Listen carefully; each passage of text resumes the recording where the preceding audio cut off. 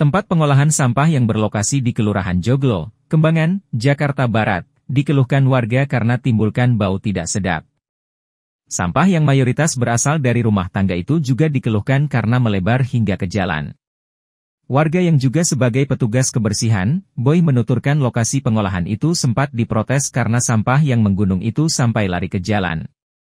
Ia kemarin sempat diprotes, tapi sekarang udah diperbaikin, katanya kepada wartawan, Selasa 21 Mei 2024. Boy berujar bahwa sampah yang ada di tempat pengolahan itu merupakan sampah yang berasal dari apartemen dan daerah lain. Lokasi pengolahan tersebut, kata dia, memang dijadikan tempat penampungan apartemen dan rumah tangga membuang sampah. Ia ada yang dari apartemen. Nah nanti di sini dipilah lagi, katanya. Boy sendiri bertugas mengangkut sampah sekaligus melakukan pemilahan. Sampah yang berbahan dasar kaleng hingga plastik dipisahkan dan nantinya dilempar ke tempat pengolahan. Itu banyak itu, tempat pengolahan. Jadi dokter sini oper ke sana, tempat pengolahan, baru dioper lagi, jelasnya. Ya rongsok. Oh. Ini udah Bapak udah lama Pak tinggal di sini? Belum lama.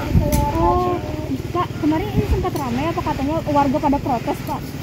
Iya, kemarin oh, kan udah di Oh sampai pinggir-pinggir ya. perbaikin, Iya, enggak enggak diperbaikin. Ini sampah dari mana sih Pak? Kalau boleh tahu? Enggak tahu dah. Katanya ada yang dari apartemen gitu ya. Apartemen itu semua. Oh dibuangnya ke sini. Iya. Ntar dibuang lagi. Dibuang lagi. Tapi kok malah numpuk sih Pak? Enggak eh, karyawannya sedikit. Oh orang sampahnya ya. Iya, masa saya nih nyari. Tapi tiap hari ada Pak yang ini. Ada Biasanya kapan Pak? Diambil sampai pagi apa? malam. Oh biasanya malam.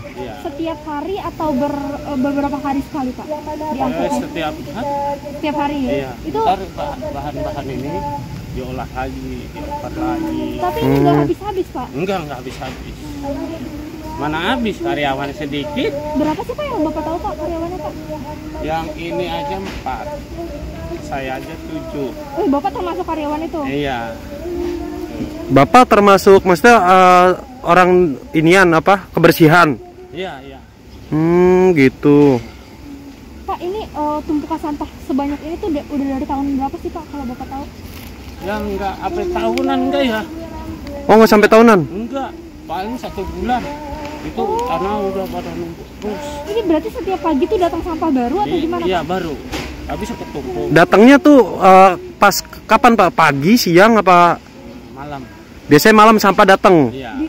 Di, diangkutnya itu sama mobil-mobil apa tuh Pak? Ini seperti mobil ini mobil kecil. Oh, itu sampah-sampah dari berbagai daerah. Iya. Tapi